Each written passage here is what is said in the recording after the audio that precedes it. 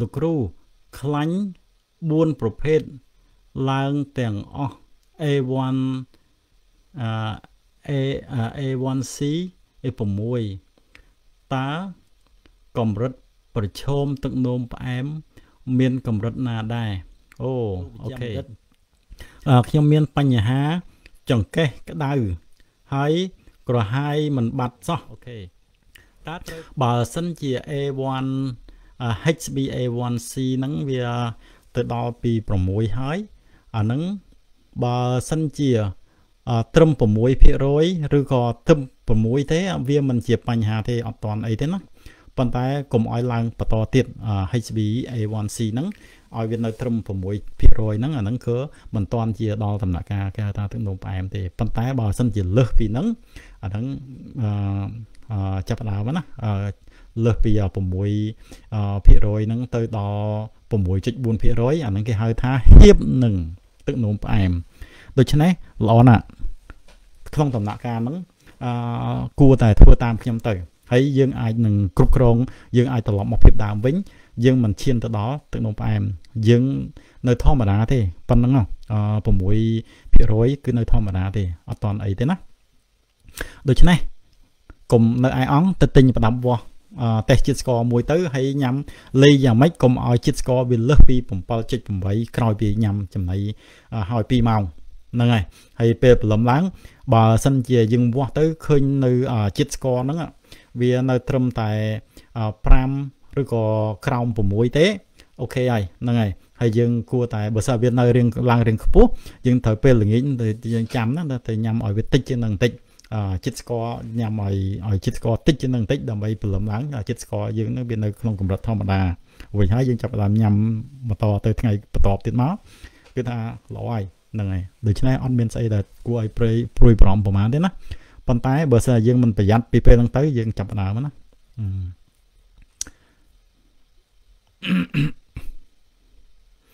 ហ្នឹងហើយអឺខ្លាញ់ទាំងឡើងទាំងអស់វាក៏មិនតន់ប្រកាសថាវាមិន ល្អដែរប៉ុន្តែសំខាន់ចង់ដឹងថាអឺ triglyceride ហ្នឹងវាមានប្រមាណវាឡើងនៅឡើងឡើងប្រមាណហើយជាមួយនឹង H អឺ HDL LDL វាឡើងប្រមាណអញ្ចឹងជួនកាលទៅឃើញ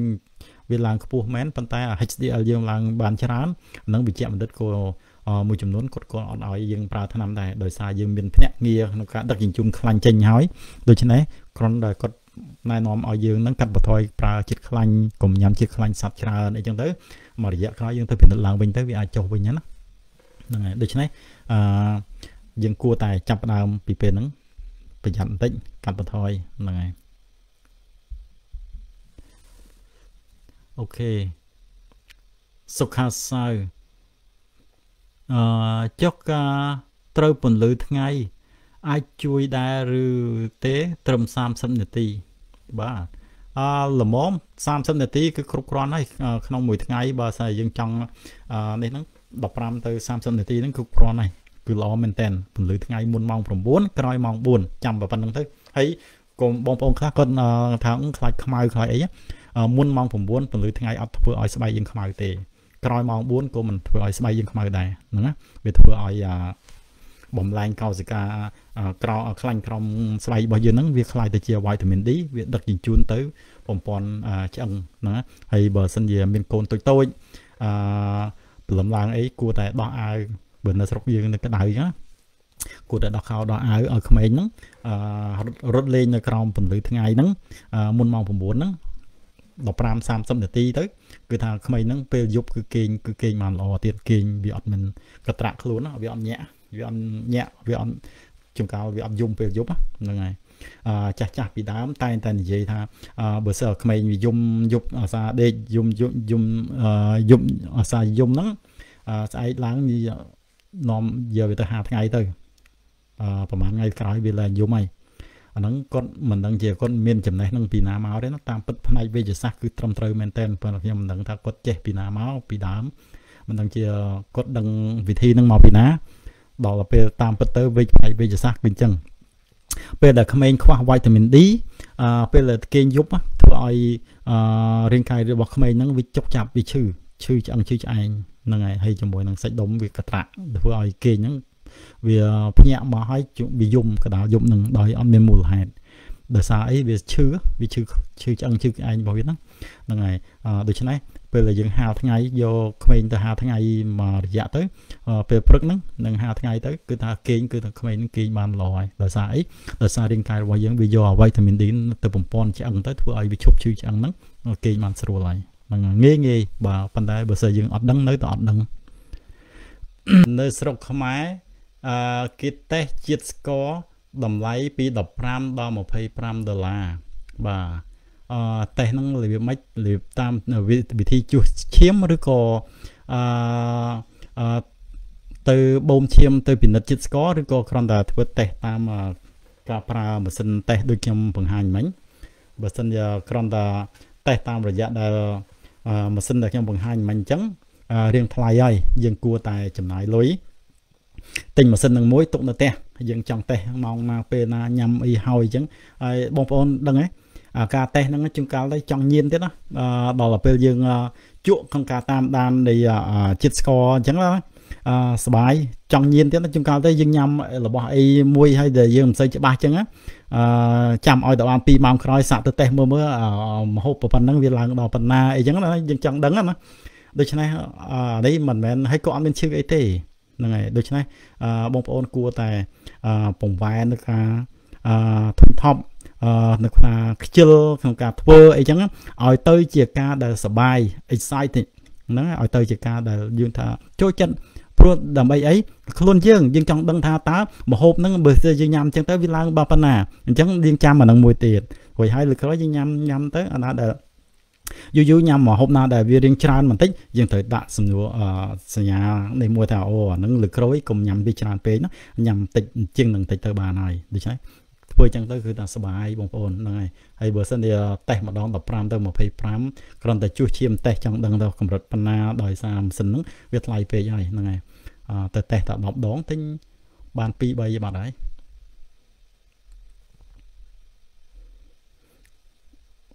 ប៉ុន្តែ អាហ្នឹងតលតែចេញពីខ្លួនយើងស្រឡាញ់ខ្លួនយើងតែហ្នឹងពិបាកណាស់ហ្នឹងអឺតតែយើងខ្លួនយើងបើចង់រស់បានយូរតតែយើងគិតពីពេលហ្នឹងទៅបាទ bowling ឯងអឺបើញ៉ាំអឺតាវីតាមីនបើញ៉ាំវីតាមីន collect collect collagen ណាឬក៏ collect អូម collagen ឬក៏ omega និងវីតាមីនផ្សេងផ្សេងតើអាចពលថ្លើមដែរឬអត់លោកគ្រូបាទអឺចំពោះប្រភេទវីតាមីនវាមិនជាបញ្ហាទេប៉ុន្តែអឺ និយាយថាมันប៉ះពាល់វាក៏អាចប៉ះពាល់ទៅតាមប្រភេទដែលយើងថ្លើមរបស់យើងកំពុងតែមានបញ្ហាអីដែលសំណួរដែលត្រូវសួរទៅវិញហ្នឹងជាងកាលទៅតើគាត់កំពុងតែមានជំងឺប្រភេទស្អីដែលនេះប៉ះពាល់ថ្លើមឬក៏អត់បើសិនថ្លើមសុខភាពធម្មតាទេត្រឹមតែមកវីតាមីនប្រភេទអញ្ចឹងចឹងវាអត់មានប៉ះពាល់ទេហ្នឹងហើយវាអត់អីទេណាហ្នឹងហើយអ្វីដែលយើងគួរឲ្យខ្លាចជាពិសេសអ្នកដែលមានបញ្ហារលាកអឺគេថា ជំងឺយើងឈឺក្បាលជាប្រចាំឈឺចង្កេះជាប្រចាំហើយយើងឧស្សាហ៍នៅពិសានៅគេហៅថា paracetamol paracetamol យើងលក់អត់មានវិជ្ជបញ្ជាអីទេនៅកន្លែងកលិកកឡុកណាក៏យើងអាចទិញបាន តាមពិតប្រភេទប៉ារ៉ាសេតាមុលហ្នឹងបងប្អូនបើសិនជាបងប្អូនឈឺក្បាលជាប្រចាំឬក៏ឈឺចង្កេះជាប្រចាំយើងញ៉ាំបានតែក្នុងរយៈពេលតែក្នុងពេលខ្លីទេយើងមិនអាចញ៉ាំយូរណាណាអាហ្នឹងវាប៉ះពាល់រឿងដែលយើងគួរខ្លាចគឺគួរខ្លាចអាហ្នឹងប្រភេទប៉ារ៉ាសេតាមុលហ្នឹងវាបើសិនជាយើងញ៉ាំពី3ក្រាមក្នុងមួយថ្ងៃក្នុងរយៈពេលតែ30ថ្ងៃទៅពិនិត្យមើលអាកោសិកាថ្លើមរបស់យើងវានឹងប៉ះពាល់កោសិកាថ្លើមណា ហើយបើសិនជាយើងអត់មានទៅជួបវិជ្ជាបណ្ឌិតហើយយើងគិតតែពីញ៉ាំប្រភេទ paracetamol យូរអានឹងធ្វើឲ្យប៉ះពាល់ទៅវាខូចកោសិកាថ្លើមវាឲ្យយើងឲ្យក្រឹនថ្លើមហ្នឹងហើយដូច្នេះរឿងមួយចំនួនថ្នាំបើត្រឹមវីតាមីនវាមិនប៉ះពាល់ទេបើថាថ្លើមវាអត់មានអីមានរោគជំងឺជំងឺអីទេណាប៉ុន្តែផ្ទុយទៅវិញគួរឲ្យចាប់អារម្មណ៍គឺប្រភេទ paracetamol ហ្នឹងគឺថាវាធ្វើឲ្យប៉ះពាល់កោសិកាថ្លើមយើងដែរហ្នឹងហើយហើយជាមួយនឹងនិយាយទៅ ក្នុងឆ្នាំយើងត្រូវតែការប្រើថ្នាំក៏គួរតែទៅជួបវេជ្ជបណ្ឌិតបានពិភាក្សាឲ្យវេជ្ជបណ្ឌិតដែលមានវិជ្ជាជីវៈត្រឹមត្រូវដែរណាជួនកាលវេជ្ជបណ្ឌិតសុំទោសជួនកាលទៅគាត់ក៏អត់សូវមានជំនាញគាត់ក៏ចិត្តថា OK OK OK OK អញ្ចឹងប៉ុន្តែរឿងដែលមិន OK គឺយើងហ្នឹងហើយដូច្នេះគួរតែប្រឹក្សាជាមួយវេជ្ជបណ្ឌិតឲ្យបានត្រឹមត្រូវព្រោះថាមួយថ្នាំដែលវេទគ្រប់វីតាមីនទាំងអស់ហ្នឹងចូលទៅហ្នឹងវាឆ្លងកាត់ថ្លើមហ្នឹងហើយសួរថាតើវាកម្រិតប៉ុណ្ណាការញ៉ាំហ្នឹងប្រភេទហ្នឹងជួនកាលទៅរាងកាយរបស់យើងគួរអឺវាខ្វះឬក៏អត់ប្រភេទហ្នឹងជួនកាលទៅរាងកាយរបស់យើងវីតាមីនមួយចំនួនរាងកាយយើងរបស់យើងវាអត់ត្រូវការច្រើនទេឧទាហរណ៍ដូចជាប្រភេទវីតាមីន C អញ្ចឹងក្នុងមួយថ្ងៃយើងញ៉ាំតែក្រូចមួយផ្លែទូចហ្នឹងក៏គ្រប់ក្នុងមួយថ្ងៃដែរយើងមិនបាច់ទិញពិសាក្នុងទេក៏បានដែរញ៉ាំប៉មតែមួយចំហៀងក៏វាគ្រប់ សម្រាប់វីតាមីន C ក្នុងរាងកាយរបស់យើងនឹងដែរហើយដូច្នេះយើងត្រូវការក្នុងមួយថ្ងៃតែ100មីលីក្រាមហ្នឹងវាតិចបំផុតតិចហ្នឹងហើយរាងកាយរបស់យើងហ្នឹងគឺត្រូវការមិនជានេះទេអឺវីតាមីន E វីតាមីនអីហ្នឹងនៅក្នុងបន្លែអីដែលយើងញ៉ាំរាល់ថ្ងៃបន្លែខៀវដូច្នេះដូចខ្ញុំនិយាយខាងលើអញ្ចឹងបន្លែបងប្អូនញ៉ាំតែបន្លែខៀវបន្លែចម្រុះគ្រប់មុខនឹងញ៉ាំទៅ มันបាច់ញ៉ាំវីតាមីនទេហ្នឹងហើយរឿងដែលត្រូវញ៉ាំវីតាមីនដែលត្រូវញ៉ាំហ្នឹងគឺត្រូវញ៉ាំតែវីតាមីន D ហ្នឹងគឺជារឿងមួយដែលត្រូវតែញ៉ាំអឺបើបងប្អូនមានអាយុពី40ក្រាស់ឡើងទៅហ្នឹងត្រូវតែញ៉ាំវីតាមីន D ឬក៏បងប្អូនណាដែលនៅក្មេងក៏ដោយប៉ុន្តែធ្វើការនៅក្នុងម្លប់អត់មានត្រូវកំពន្លឺថ្ងៃក៏គួរតែប្រើវីតាមីន D ហ្នឹងឲ្យជាប្រចាំទៅដើម្បីជំនួសនឹងការត្រូវពន្លឺថ្ងៃដូចខ្ញុំអញ្ចឹងខ្ញុំប្រើវីតាមីន D រាល់ថ្ងៃដែរ ហ្នឹងហើយប៉ុន្តែដល់ពេលទៅពិនិត្យសិតជាង100វីតាមីន D តាមពិតវីតាមីន D ឲ្យលើសពី50ឡើងទៅគឺអូខេហើយប៉ុន្តែចំពោះខ្ញុំនៅក្នុងម្លប់មែនប៉ុន្តែវីតាមីន D ពិនិត្យមកជាង100ដូច្នេះអញ្ចឹងវីតាមីន D គឺល្អអាហ្នឹងយើងញ៉ាំទៅវាអត់ប៉ះពាល់អីទេណាប៉ុន្តែខ្ញុំនិយាយហើយនិយាយទៀតបានតែបងប្អូនណាដែលគាត់យល់ទេបើបើមិនយល់នៅដដែលខ្ញុំក៏មិនដឹងមានវិធីណាដើម្បីលើសពីហ្នឹងទេជឿសួរចំពោះអ្នកដែលលើសឈាម តែគ្មានរោគបេះដូងហើយក៏មិនធ្លាប់ stroke ដែរតើគួរចាំបាច់បាទអឺលេប aspirin ដែរឬទេ បាទសំណួរហ្នឹងល្អចំពោះ aspirin អ្នកដែលលើសសម្ពាធឈាមបើសិនជាគាត់អាចគួរតែប្រើ aspirin ហ្នឹងក្នុងមួយថ្ងៃហ្នឹងមួយគ្រាប់ហ្នឹងអាចជួយធ្វើឲ្យឈាមរបស់គាត់អឺរាវអឺ ដឹងស្រាប់ហើយអ្នកដែលលើសសម្ពាធឈាមគាត់ប្រឈមទៅនឹងការបែកសរសៃឈាមណាអឺស្ទះសរសៃឈាមដោយសារអឺសម្ពាធឈាមសម្ពាធឈាមហ្នឹងកាលណាឡើងសម្ពាធឈាមវាមានច្រើនមូលហេតុមូលហេតុទី1គឺដោយសារអឺសរសៃឈាមរបស់យើងវារឹងវាធ្វើឲ្យសម្ពាធវាខ្លាំងអឺវាវាវាកើនអាហ្នឹងក៏ធ្វើឲ្យងាយនឹងស្ទះសរសៃឈាមដោយសារឈាមរបស់យើងហ្នឹងរត់ទៅកន្លែងដែលវាតូចហ្នឹងវាមិនអាច អឺបើកបានវាស្ទះគឺធ្វើឲ្យនេះអញ្ចឹងអឺវិជ្ជាបណ្ឌិតតែងតែលើកទឹកចិត្តថាយើងគួរតែគួរតែលេបអាស្ពីរិនហ្នឹងមួយថ្ងៃមួយគ្រាប់ហ្នឹងទៅ ដើម្បីធ្វើឲ្យឈាមយើងវារាវហ្នឹងហើយឈាមរាវអាហ្នឹងវាកាត់បន្ថយនឹងការស្ទះ stroke ទោះបីយើងអត់មានជំងឺបេះដូងក៏ដោយហ្នឹងហើយអាហ្នឹងគឺជាការល្អប៉ុន្តែបើសិនជាយើងមិនចង់ញ៉ាំអាស្ពីរិនហ្នឹងទេ យើងក៏គួរតែអឺ មានសកួរនៅក្នុងផ្ទះដើម្បីការពារនៅពេលណាដែលយើងមានអាការៈប៉ុន្តែអាហ្នឹងខ្ញុំមានប្រធានបទមួយទៀតក្នុងការនិយាយក្នុងការសង្គ្រោះដែរ aspirin ហ្នឹងគឺថាជាថ្នាំមួយគឺថោកបំផុតហើយបើសិនយើងប្រើអត់ត្រូវក៏វាជាគ្រោះថ្នាក់ដែរធ្វើឲ្យយើងនឹងងាយនឹងឈឺកាពះឬក៏អ្នកដែលមានបញ្ហាប្រើ aspirin ហ្នឹង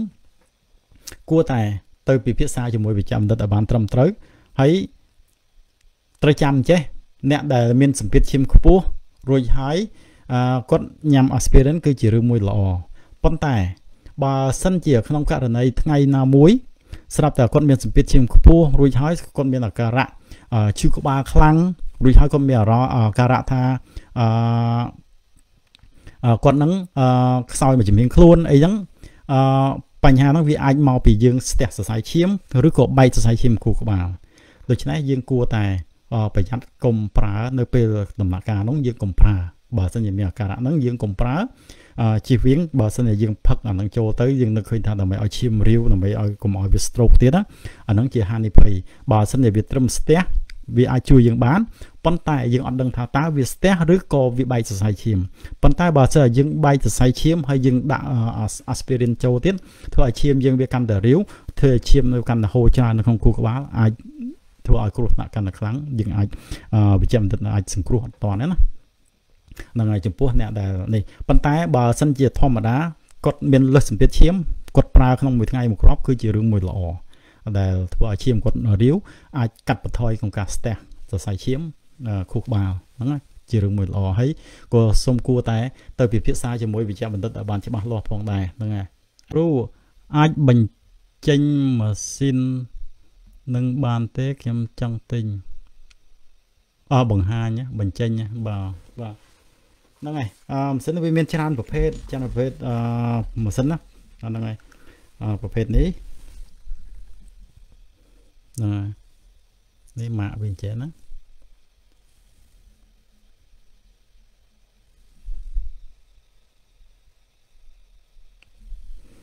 ហើយយេវាមានប៊ិចមួយ ប៊ិចហ្នឹងពេលដែលយើងចុចទៅណាពេលដែលយើងចុចទៅនេះ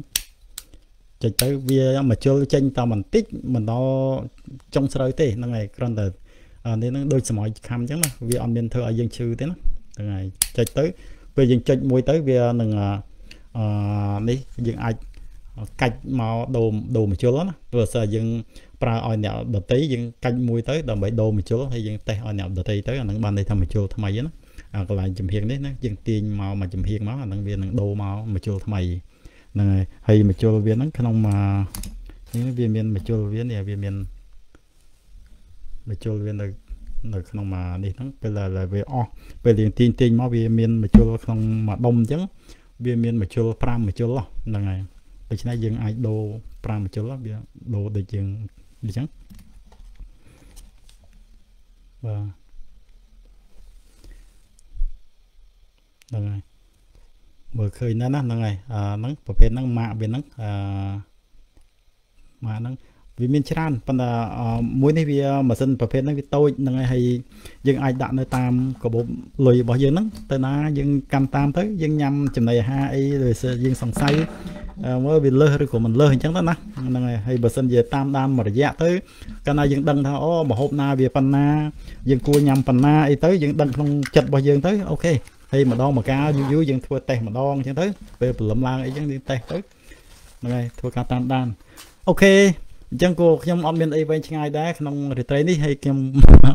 មើលម៉ោងប្រហែលហើយវ៉ាម៉ោង12ហើយអឺយប់ពេកហើយហ្នឹងហើយដូច្នេះប្រភេទអង្គកៅអង្គសម្រូបឬក៏នំប៉័ងប្រភេទនំប៉័ងអឺគេថានំប៉័ងដែលគេធ្វើពីអង្គស្លៃដែលនេះហ្នឹង រឿងខ្មៅខ្មៅអាហ្នឹងពេលយើងញ៉ាំចូលទៅរាងកាយរបស់យើងកាពះរបស់យើងវាបំបែកចេញមកវាយឺតវាមានជាតិស្ករដែរមិនមែនថាវាអត់ជាតិស្ករទេជាតិស្ករដូចគ្នាអញ្ចឹងគ្រាន់តែវា ពិបាកក្នុងការរំលាយបំបែកជាតិស្ករហ្នឹងដូច្នេះរាងកាយរបស់យើងវាបំបែកបដើបដើរទៅ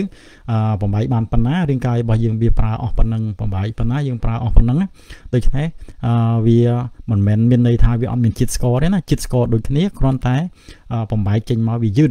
ដល់យឺតទៅវារាងកាយរបស់យើងវាមានពេលវេលា ក្នុងការបំលែងក្នុងការប្រើប្រាស់ជាតិស្ករហ្នឹងល្មមវាមិន បុកពុកមកវាឡើងខ្ពស់ដូចយើងញ៉ាំអង្គសឬក៏បង្អែមឬក៏បបរបបរសអីចឹងអាហ្នឹងគឺថាញ៉ាំចូលទៅជាតិស្ករហ្នឹងវាចូល direct ទៅរាងកាយរបស់យើងស្រូបអឺចូលទៅក្នុងឈាមរបស់យើងហ្នឹង straight ទៅគឺថាខ្ពស់ដល់ខ្ពស់ចឹងទៅលំពេញវាមានតួនាទីទៅបញ្ចេញនៅ insulin ហ្នឹងដើម្បីមកបំបែកនៅអាជាតិ glucose នៅក្នុងឈាមរបស់យើងហ្នឹងដើម្បីយកទៅឲ្យคล้ายទៅជាប្រភេទអាស៊ីតអាមីនផ្សេងផ្សេង ប៉ុន្តែដល់វាវាច្រើនពេកគឺថាយ៉ាប់យូរយូរទៅវាលែងមានកម្លាំងក្នុងការធ្វើខ្សោយហ្នឹងហើយលោកគ្រូជួយចែករំលែករបបអាហារដែលលោកគ្រូអនុវត្តប្រចាំថ្ងៃផងបាទហ្នឹងហើយចំពោះចំណីអាហារដែលខ្ញុំញ៉ាំប្រចាំថ្ងៃ ដូចជាខ្ញុំញ៉ាំរាល់ថ្ងៃហ្នឹងខ្ញុំសាកមើលបើសិនជានំបញ្ចុកគឺថា ជាតិម្សៅមែនប៉ុន្តែបើធៀបទៅជាមួយនឹងបាយគឺថានំបញ្ចុកជាតិស្ករតិចជាងហ្នឹងហើយអឺញ៉ាំទៅព្រោះនំបញ្ចុកហ្នឹងពេលដែលយើងញ៉ាំទៅប៉ុន្តែញ៉ាំហ្នឹងសួរថានំបញ្ចុកហ្នឹងយើងញ៉ាំជាមួយស្អីទៀតបើសិនយើងញ៉ាំស្រូបទឹកត្រីផ្អែមរូបស្រូបអីទៀតអាហ្នឹងក៏វាឡើងបុបទៅតាមទឹកត្រីផ្អែមហ្នឹងណាប៉ុន្តែជាទូទៅដូចជាគុយទាវអីហ្នឹងក៏មិនសូវជាឡើងច្រើនដូចនេះដែរដូចជាបាយសដែរដូច្នេះបាយសគឺច្រើនជាងហ្នឹងហើយ ហើយអឺភាគច្រើន ពេលថ្ងៃពេលព្រឹកខ្ញុំញ៉ាំធម្មតាមហូបណាដែលដូចជា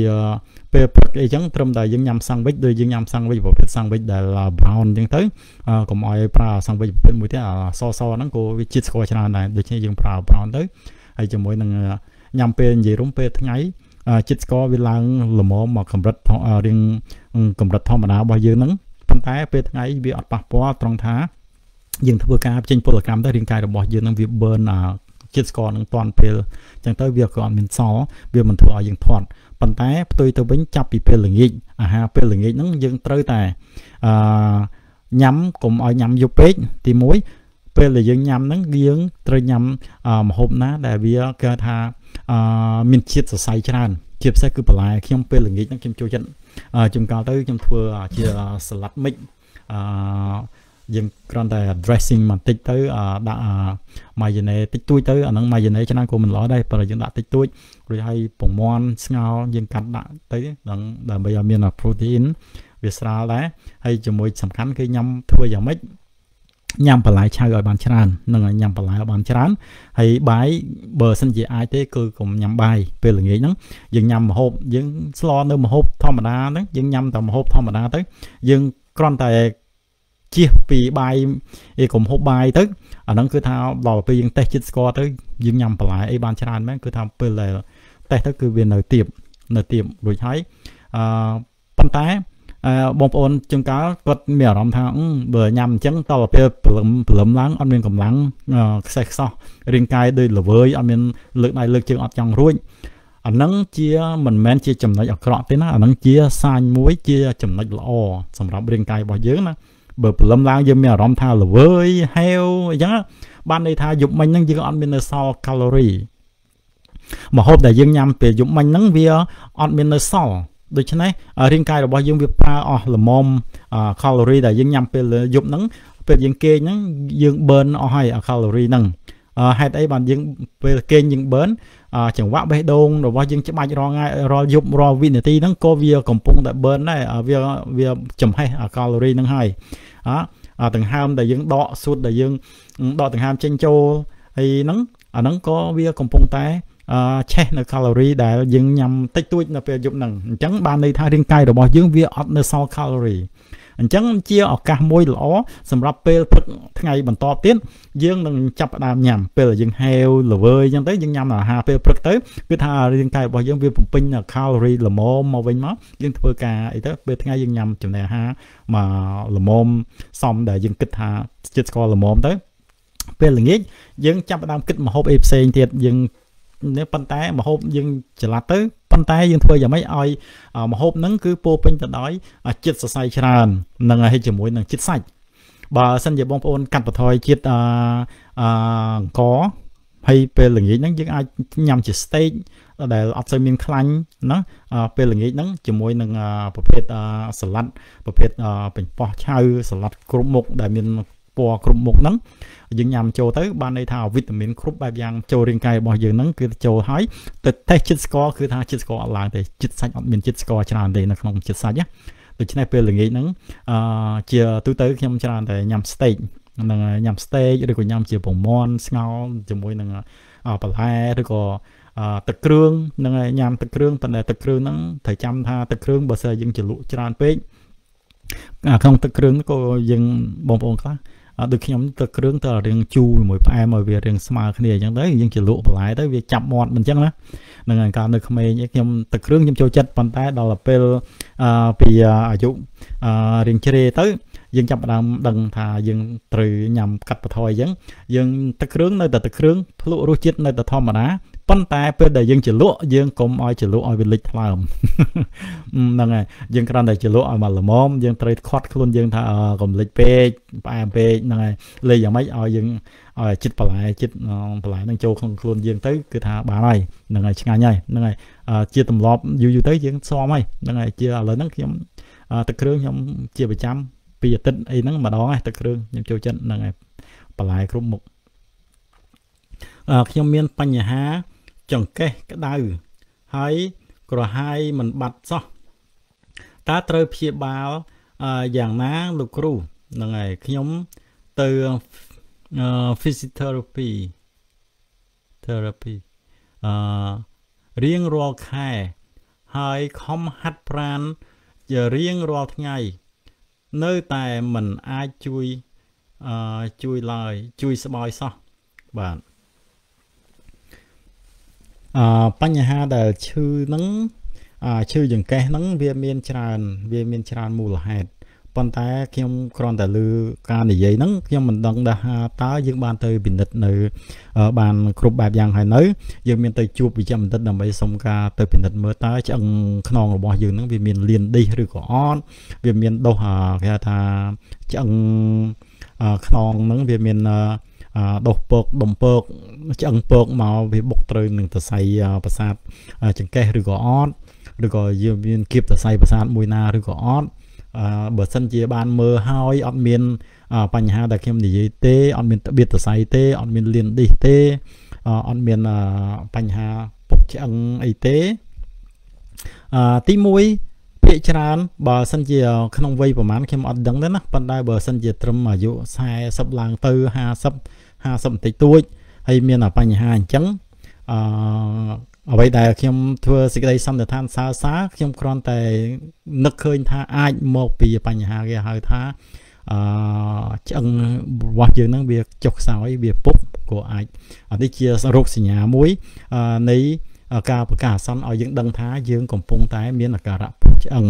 ពុកឆ្អឹងហ្នឹងភាគច្រើនវាចាប់ដើមមានអាការៈមុនគេហ្នឹងនៅតាមនៅចង្កេះ ចង្កេះហ្នឹងហើយហើយចង្កេះហ្នឹងជាពិសេសគឺព្រលឹមឡើង ពេលដែលយើងភ្ញាក់ពីគេងងើបឈរឡើងវាការៈថាវារយចុករយនៅជុំវិញចង្កេះរបស់យើងហ្នឹង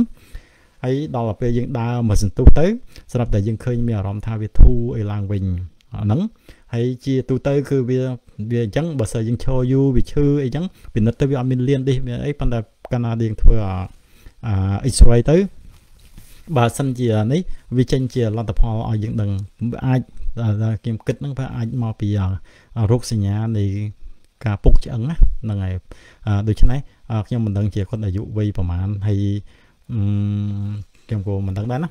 ប៉ុន្តែបើសិនជាភាគច្រើនបើសិនស្ត្រី ពីអាយុ40ក្រាស់50ឡើងទៅ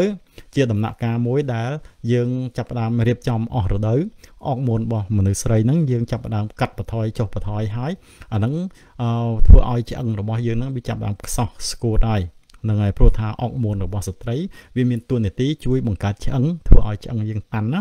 ប៉ុន្តែអកុសលមនុស្សស្រីពីអាយុ50 40ក្រាស់50ឡើងទៅគាត់លែងមានរដូវហើយកាលណាគាត់ឈប់មានរដូវអុកម៉ូនហ្នឹងកាត់ចាប់ដើមចុះចុះចុះខ្សោយកាលណាចុះខ្សោយបានន័យថា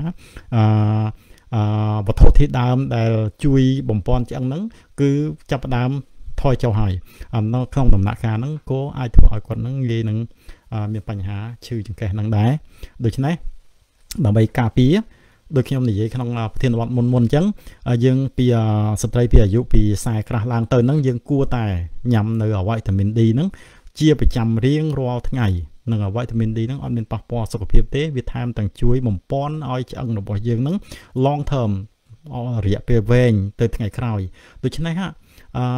វីតាមីន D ហ្នឹងវាជំនួសទៅដោយអុកម៉ូនដែលយើង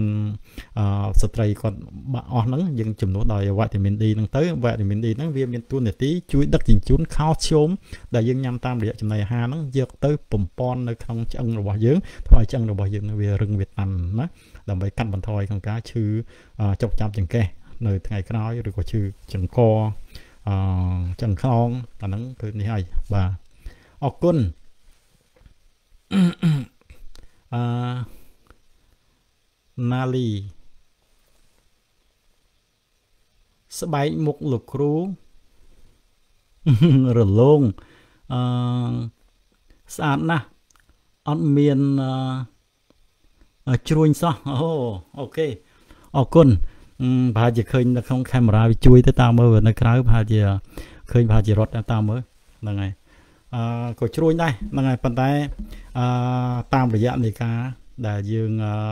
ចេះថែរក្សាសុខភាពជាមួយនឹងជាពិសេសគឺថាបងប្អូនជាស្ត្រីខ្ញុំក៏សំណាងដែរដោយសារខ្ញុំធ្វើការមិនមានបាននៅប៉ះពាល់នៅពន្លឺថ្ងៃច្រើនហ្នឹងហើយនៅក្នុងម្លប់ហ្នឹងហើយដូច្នេះអឺពន្លឺព្រះអាទិត្យ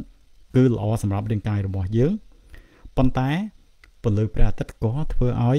រាងកាយរបស់យើងហ្នឹងក៏ឆាប់ចាស់រីករាលដែរពន្លឺព្រះអាទិត្យនៅមុនម៉ោង9គឺធ្វើឲ្យអឺស្បែករបស់យើងក៏ដូចជាអឺរាងកាយរបស់យើងឆ្អឹងរបស់យើងវាតាន់រឹងល្អហើយក្រោយម៉ោង4ល្ងាចក៏ចឹងដែរវាមិនធ្វើឲ្យយើងខ្មៅអឺបងប្អូនតែចាំណាពន្លឺព្រះអាទិត្យនៅពេលមុនពេលម៉ោង9មុនម៉ោង9ណាអឺគឺថាបងប្អូនគួរតែមានពេលបោះអាវខ្លីទៅ អង្គុយហាលហ្នឹងហើយពាក់អាវខ្លីអង្គុយហាលថ្ងៃនៅពេលព្រឹកហ្នឹងទៅឬក៏ពេលល្ងាចក្រោយម៉ោង4ហ្នឹងយើងហាលថ្ងៃទៅហ្នឹងធ្វើឲ្យអឺកាត់បន្ថយនៅការអឺចាស់រិចរិលនៃអឺឆ្អឹងរបស់យើងធ្វើឲ្យឆ្អឹងរបស់យើងហ្នឹងល្អហើយជាមួយនឹងជួយឲ្យអឺស្បែករបស់យើងហ្នឹងក៏នេះដែរបូករួមជាមួយនឹងទឹកទឹកសំខាន់ណាស់ទឹកបងប្អូនទឹកត្រូវញ៉ាំទឹកឲ្យបានច្រើនដើម្បីកុំឲ្យកោសិការបស់យើងនៅវាឆាប់ចាស់យើងមិនណាយើង ជាពិសេសអឺយើងឆាប់ចាស់ណាបើសិនជាយើងខ្វះជាតិទឹកប្រៀបបានដូចជាដើមឈើអញ្ចឹងកាលណាយើងស្រូចទឹកអត់គ្រប់គ្រាន់គឺដើមឈើហ្នឹងវារស់បានដែរប៉ុន្តែវានៅក្រៀមស្វិតហ្នឹងដូច្នេះយើងបំពេញជាតិទឹកយើងត្រូវពិសាជាតិទឹកឲ្យបានច្រើនក្នុងមួយថ្ងៃចែកឲ្យពីព្រឹកដល់ល្ងាចហ្នឹងអឺបើត្រឹមអាយុអឺក៏ទម្ងន់ពី50ទៅ60 65អីទេ ពី2លីត្រកន្លះទៅ3លីត្រហ្នឹងគឺគ្រប់ហើយហ្នឹងហើយក្នុងមួយថ្ងៃយើងចែកពេលថ្ងៃហ្នឹងយើងញ៉ាំទៅហើយចែកពីព្រឹកដល់ល្ងាចហ្នឹងហើយអឺកាលណារាងកាយរបស់យើងវាមានគ្រប់ជាតិទឹកធ្វើឲ្យកោសិការបស់យើងហ្នឹងគឺថាវាគ្រប់ជាតិទឹកវាវាមិនងាយនឹងចាស់ទ្រុំកោសិកាហ្នឹងវាអត់ងាយផ្លាស់បាទអាហ្នឹងមួយទៀតយើងញ៉ាំបន្លែញ៉ាំបន្លែឆៅបន្លែបន្លែខៀវឲ្យបានច្រើនបន្លែហ្នឹងយើងត្រូវ ខ្ញុំមិនដឹងយ៉ាងម៉េចខ្ញុំចូលចិត្តបន្លែហ្នឹងតាំងពីខ្ញុំមិនមិនធ្វើពេទ្យម្លេះតាំងពីខ្ញុំនៅតូចខ្ញុំអឺចូលចិត្តបន្លែហ្នឹងហើយនៅស្រុកខ្មែរហ្នឹងគឺថាបន្លែផលិតរំចង់ជាពិសេសគឺកញ្ឆែតអីហ្នឹងគឺថាជាអឺនេះចូលចិត្តណាស់ខ្ញុំចូលចិត្តណាស់អឺតកួនឆ្លក់ទឹកតកួនឆ្លក់ទឹកនៅស្រុកខ្មែរយើងហ្នឹងខែទឹកឡើងអីហ្នឹង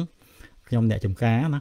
ទៅហែលបេះបាទតកួនឆ្លក់ទឹកហ្នឹងយកមកជ្រលក់ទៅជាមួយនឹងអាពពុះស្ដាយស្អីគេគេហៅចិនគេហៅហ៊ូយូ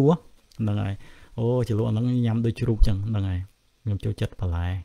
ដូច្នេះបងប្អូនគួរតែ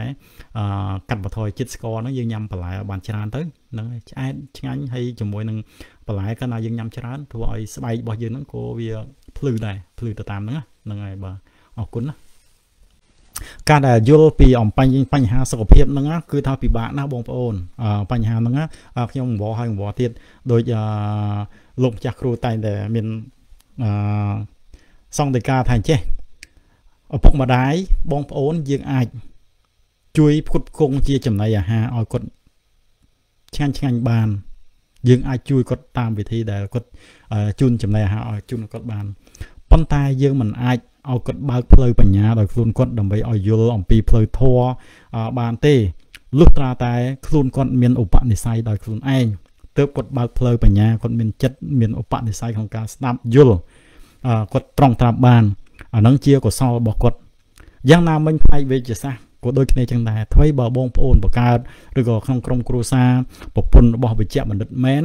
ប៉ុន្តែបើសិនជាគាត់អត់មានឧបនិស្ស័យក្នុងការ អឺត្រង់ត្រាប់ស្ដាប់ឬក៏យកចិត្តទុកដាក់យកទៅអនុវត្តអាហ្នឹងក៏ដូចជាក៏ក៏គ្មានសមត្ថភាពណាដើម្បីទៅជួយបានដែរព្រោះយើងមិនអាចទៅអង្គុយចាំតែសង្កត់មើលថាអ្នកឯងកុំហូបអានេះអ្នកឯងកុំធ្វើអញ្ចេះអ្នកឯងកុំធ្វើអញ្ចឹងយើងគ្មាននរណាមានពេលដើម្បីអញ្ចឹងទេ អញ្ចឹងតើតើខ្លួនយើងម្នាក់ម្នាក់យើងបើកផ្លូវបញ្ញាដោយខ្លួនយើងយើងយកចិត្តទុកដាក់ហើយបើសិនជាបងប្អូនណាដែលមានការត្រង់ត្រាប់ស្ដាប់ហើយអនុវត្តនៅតាមអ្វីដែលខ្ញុំនិយាយខាងលើដល់ក្រោមហ្នឹងចាត់ទុកថាបងប្អូនមានឧបនិស្ស័យណាហ្នឹងហើយអាចនិយាយគ្នាបានបងប្អូនមួយចំនួនគាត់មើលឲ្យគាត់អស់រំលងចោលដល់អើយអឺអើបើធ្វើដូចតែលោកគ្រូហ្នឹងងាប់ទៅវាល្អជាងរស់មានន័យអីទៀត តាមពិតទៅគឺថាវាមិនមែនមានន័យចឹងទេណាកាលណាដែលយើងញ៉ាំសបាយណាកាលណាដែលយើងមានគេថាមានវិជ្ជាជីវៈក្នុងការញ៉ាំចំណីអាហារតាមរបៀបវិទ្យាសាស្ត្រគឺថារស់នៅដោយយើងអាចញ៉ាំបានគ្រប់បែបយ៉ាងទាំងអស់ស្អីក៏យើងញ៉ាំបានទាំងអស់ហើយយើងបាន enjoy ទាំងអស់ប៉ុន្តែយើងញ៉ាំមកល្មមយើងសម្រាប់រាងកាយរបស់យើងតែប៉ុណ្្នឹងទៅបានហើយហ្នឹងហើយដូច្នេះការដែលយល់ការមនុស្សយើងតែងតែយល់ ផ្សេងផ្សេងគ្នាចឹងប៉ុន្តែដូចខ្ញុំនិយាយចឹងបើសិនជាបងប្អូនមានឧបនិស្ស័យបងប្អូនត្រង់ត្រាប់ទៅអាហ្នឹងជារឿងមួយដែលល្អជូនបងប្អូនហ្នឹងហើយខ្ញុំគោគ្មានសមត្ថភាពណានិយាយឲ្យលើសពីប៉ុណ្្នឹងទេអ្វីដែលខ្ញុំចង់ហ្នឹងគឺចង់ឲ្យដល់បងប្អូនមានសុខភាពល្អទាំងអស់គ្នាតើជ្រក់ខ្ទឹមល្អឬទេ បាទល្អតាហ្នឹងហើយជ្រក់ខ្ទឹមល្អនិយាយរួមឲ្យតែខ្ទឹមសនិងខ្ទឹមសខ្ទឹមឆៅក៏បានខ្ទឹមប៉ុន្តែខ្ទឹមបំពងវាឡើងមានប្រសិទ្ធភាពហើយណាវា វាឈ្ងុយមែនប៉ុន្តែបើនិយាយអំពីថាប្រសិទ្ធភាពគុណភាពវាអត់ល្អទេល្អបំផុតគឺខ្ទឹមឆៅហ្នឹងប៉ុន្តែវាគុណវិបត្តិត្រង់ថាយើងពេលយើងញ៉ាំហើយវាធំក្លិនមាត់អីចឹងណាណាអាហ្នឹងវាជាបញ្ហាមួយដែរប៉ុន្តែយើងនេះទៅយើងអាចដុសធ្មេញឬក៏កពូមាត់ឬក៏អញ្ចឹងអានេះធម្មតាវាមានផលវិបត្តិរបស់វាដែរនោមមកមានពពុះគួរធ្វើបែបណា បានបាត់លោកគ្រូហ្នឹងហើយអ បញ្ហាថានោមចេញមកមានពពុះហ្នឹងក៏មិនមែនមានន័យថាយើងនឹងមានបញ្ហាទឹកនោមផ្អែមឬក៏មានជំងឺអីក៏មិនតន់ជាប្រកបដែរណាអឺហ្នឹងតើតើធ្វើការទៅពិនិត្យអឺឈាមពិនិត្យទឹកនោមអាហ្នឹងបានយើងដឹងច្បាស់ណាប៉ុន្តែជាទូទៅបើសិនជាបងប្អូនដែលនោមមកមានពពុះភាគច្រើនដែលបងប្អូនខ្វះជាតិទឹកអ្នកដែលខ្វះជាតិទឹកញ៉ាំទឹកអត់សូវច្រើនណាកាលណាញ៉ាំជាតិទឹកអត់សូវច្រើនក្នុងទឹកនោមរបស់យើងនឹងវាខាប់ ហ្នឹងហើយមានខាប់នៅក្នុងហ្នឹងវាមានប្រភេទ uric អអីនឹងច្រើនណាស់ជាតិពុលដែលនៅក្នុងទឹកនោមផ្អែមរបស់យើងទឹកនោមរបស់យើងហ្នឹងពេលយើងនោមទៅឃើញអាលឿដូចទឹកតែចត់អញ្ចឹងណាអឺដែលទឹកនោមលឿងអញ្ចឹងមកហើយហើយទឹកនោមដែលយើងខ្វះជាតិទឹកហ្នឹងនោមចុះមកគឺដាច់ខាតត្រូវតែពពុះហើយជាពិសេសគឺមនុស្សប្រុសយើងឈរបាញ់ចុះមកហ្នឹងគឺថាពពុះហើយ អឺឥឡូវដើម្បីកុំឲ្យមានពពុះសាកធ្វើតាមខ្ញុំមើលក្នុងមួយថ្ងៃបើសិនជាយើង60គីឡូយើងអឺញ៉ាំទឹកឲ្យបាន2លីត្រកន្លះទៅ3លីត្រមើលអឺចែកឲ្យវាស្មើពីព្រឹកដល់ល្ងាចហើយពេលដែលយើងទៅបត់ជើងតូចតាមដានមើលតើវានៅមានពពុះឬក៏អត់ហ្នឹងហើយបើសិនជាពេលដែលញ៉ាំទឹកឲ្យច្រើនទៅពេលដែលទឹកនោមយើងថ្លាហើយយើងសាកនោមមើលតើវាមានពពុះឬក៏អត់ហ្នឹងហ្នឹងហើយអាហ្នឹងយើងទៅមើលតាមហ្នឹងទៅហ្នឹងហើយ ប៉ុន្តែចំពោះខ្ញុំថាពពុះហ្នឹងក៏អាចមកពីខ្វះជាតិទឹកហ្នឹងហើយតេអ៊ីប្រូតេអ៊ីនតាមមើលឡើងប្រូតេអ៊ីនខ្ពស់គួរធ្វើបែបណាលោកគ្រូដើម្បីឲ្យ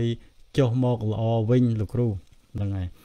ឡើងប្រូតេអ៊ីនខ្ពស់ហ្នឹងអាហ្នឹងមានតែវិធីគឺថាយើងកាត់បន្ថយញ៉ាំជាតិសាច់ហ្នឹងហើយអឺព្រោះប្រូតេអ៊ីន ដែលនៅក្នុងខ្លាញ់នៅក្នុងឈាមឬក៏នៅក្នុងបើសិននៅក្នុង